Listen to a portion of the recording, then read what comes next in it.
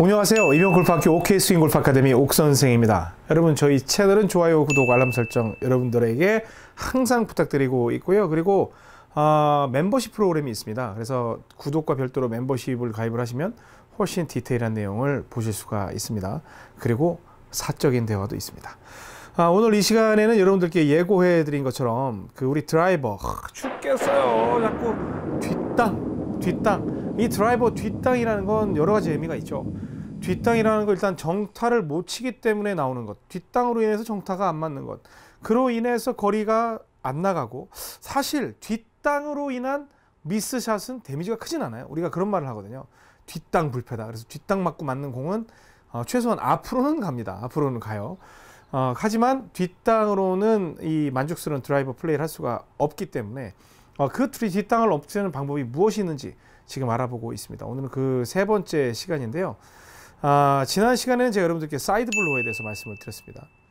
side blow는 어찌 보면 어, 이 옥스윙의 영혼이라고도 할 수 있죠. 그리고 옥스윙이 탄생되게 된 가장 기본적인 개념이기도 했습니다.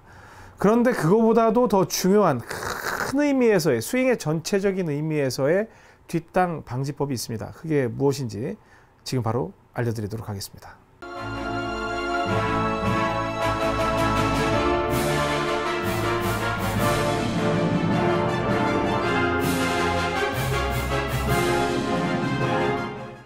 네.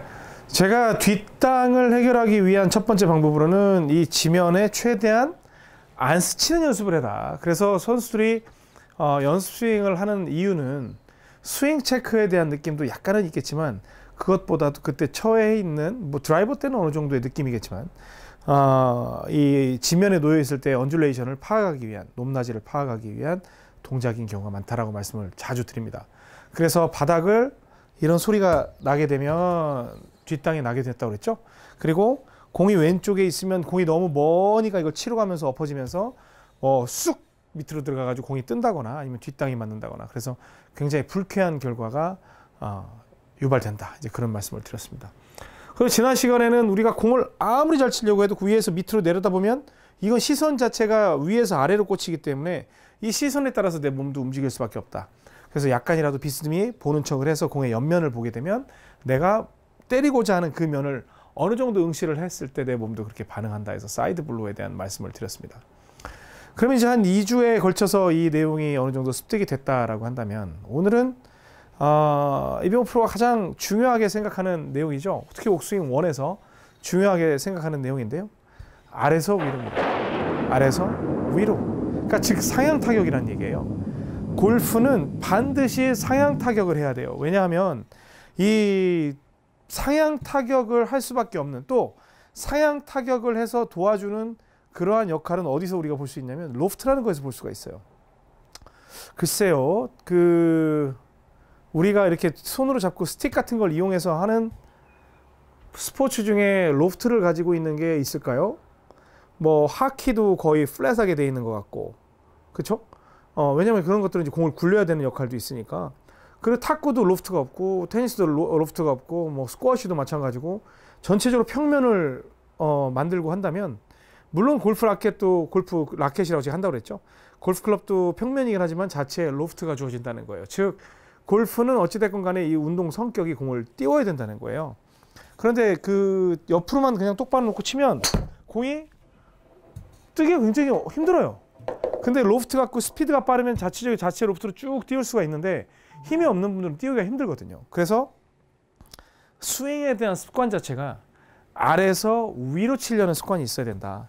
그래서 뭐 사이드볼을 보건 안 보건 간에 내 스윙이 상하 운동이 백으로 들어서 밑으로 쥐어박는 게 아니라 오히려 옆으로 들어서 위로 이렇게 들어 위로 이렇게 들어 위로 이렇게 들어 위로 이렇게 들어 위로 이렇게 들어 위로 이렇게 들어 올리려는 의도가 분명히 있어야 한다 라고 정말 그냥 이골나게 제가 말씀을 드렸어요. 그냥 이제 아 이제 그만 얘기하세요 할 정도로 제가 여러분들께 말씀을 드렸어요. 다시 공을 보면 이걸 갖다 옆으로 그냥 square로 빡 때리려고 그렇게 노력을 하는 게 아니라 어떻게든 얘를 갖다가 아래서 위로 건져 올려야 되는데 그 방법이 탁월한 방법이 바로 먹이기라는 기술이 있다고도 말씀을 드렸죠. 탁구도 팍 위로 칠 수 있지만 위로 치면 바로 그냥 그 탁구대를 넘어가 버리잖아 테이블을. 그래서 이렇게 스핀을 주면서 내가 그 판도까지 조절할 수 있는 그런 방법이 있다고 말씀을 드렸습니다. 하지만 이렇게 있으면 내가 의도적으로 아이언은 사실은 그 정도까지 필요 없는데 드라이버가 있으면요 약간 내 몸이 약 의도적으로 위로 치겠다. 예를 들면 공을 던질 때 이렇게 내려다보면 이쪽으로 던지는 거죠. 근데 이렇게 보면 위로 던지겠다는 의도가 있는 거잖아요. 그것처럼 이렇게 약간만 기울여주면 side blow도 할 수 있고 내가 아래서 위로 이렇게 쳐서 올리려는 그러한 동작을 만들 수 있는 장점이 있다는 거예요. 그래서 여러분께 늘 말씀을 드릴 때 뭐 down blow다 뭐 이제 그런 거 좋아요. down blow가 사실은 옥 1에서 나오진 않아요. down blow 때문에 죽는다 그러는데 옥 2에서는 사실은 down blow가 어느 정도 필요한 때도 있습니다.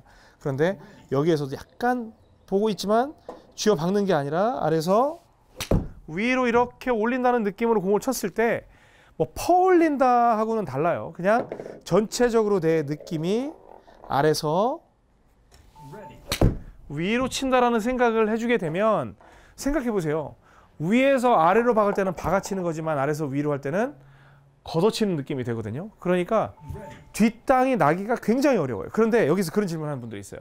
아래서 위로 쳤더니 여기서 팍 맞아버리더라.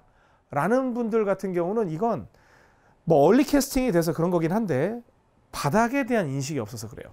여기에서 그냥 팍 쳐버리면 찍어서 그런 거잖아요.